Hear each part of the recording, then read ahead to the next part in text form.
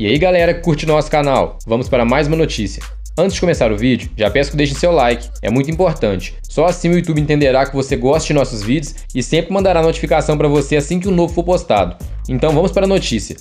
Na programação ao vivo da noite desta segunda-feira, dia 27, o apresentador Marcos Mion deu início a essa décima formação de roças de A Fazenda 10. Kaique Aguiar, que venceu a prova do fogo e foi o peão dono das chamas, acabou escolhendo a chama azul, que seu poder era que o dono da mesa poderia votar mais uma vez, sem repetir seu voto. Kaique então entregou a chama vermelha a Kátia Vaganotti. O seu poder consistia no dono da chama escolher dois peões, e o fazendeiro da semana teria que colocar um desses peões direto para a roça. Ao ser questionada por Marcos Mion, Cátia Paganotti acabou escolhendo Evandro Santo e Felipe Sertanejo. João Zoli, que era fazendeiro da semana, teve que escolher um dos peões e acabou escolhendo Evandro Santo. Portanto, o humorista foi o primeiro roceiro da semana. A votação que estava empatada, com dois votos em Kátia e dois votos em Rafael Ilha, Felipe Sertanejo foi prestigiado e pôde escolher quem seria o segundo roceiro. Felipe então escolheu Kátia Paganotti, portanto a peoa foi a segunda roceira.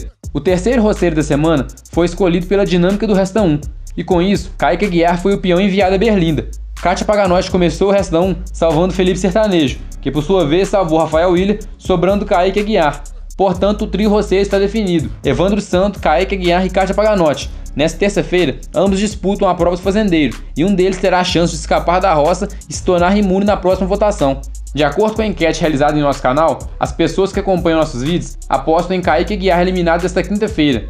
Evandro Santo ou Kátia precisam vencer essa prova de amanhã, porque Kaique ficando na roça será garantido 100% de rejeição no peão. Quem vocês querem na roça? Se concordam com o que foi dito no vídeo, deixe seu like, se inscreva no canal, é muito importante. A gente se vê no próximo vídeo.